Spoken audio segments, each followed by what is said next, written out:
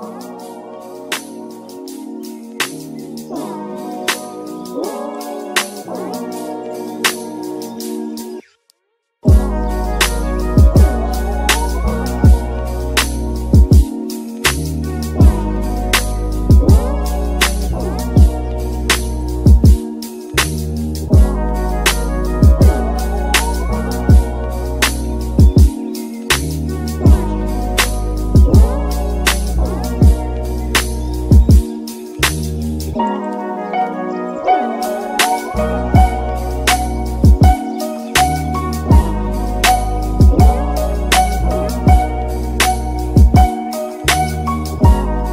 Yeah, I mean we've got uh, you know players in the squad that uh, know the system, and uh, they played it uh, very well the other night against uh, Millwall.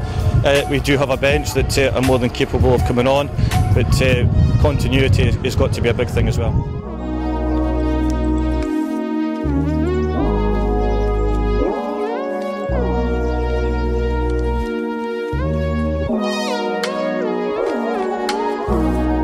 Sometimes you struggle because the Portsmouth fans are fantastic here, but our fans are equally good because they're very vocal. They get right behind the team from the, the first whistle, and uh, it just brings out the atmosphere in the stadium.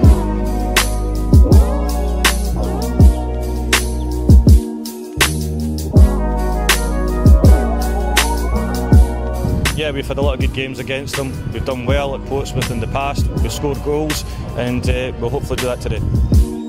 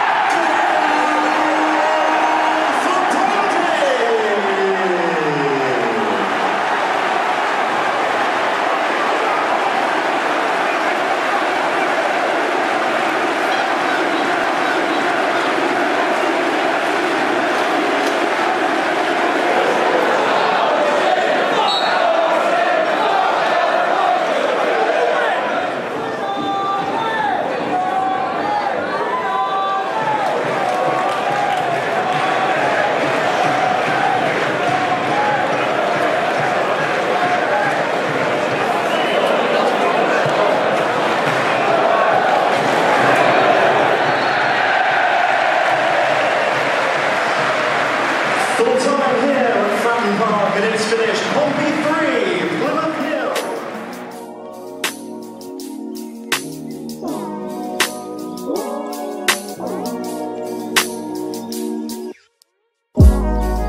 I said no one's going to hide from that. Um, come, come to one of your one of your, your derbies and uh, get beat three 0 is not what we wanted. And uh, I said unfortunately that that one hurts. Like I said, that's that's hurt the boys. The only way to put that right now is to go back onto the training ground, which we which we're going to do and ready to do Monday. and uh, you know as a coach and, and, as a manager you can set them up and uh, but you know the players have to take um, responsibility of not making these errors and, and we're making errors that uh, are not helping us and when that happens and you go go down away from home at Fratton Park it becomes a difficult afternoon. Said individual individual errors are costing us and um, we can't keep we can't keep starting games going one two 0 down because there's, there's no way back from it at this level.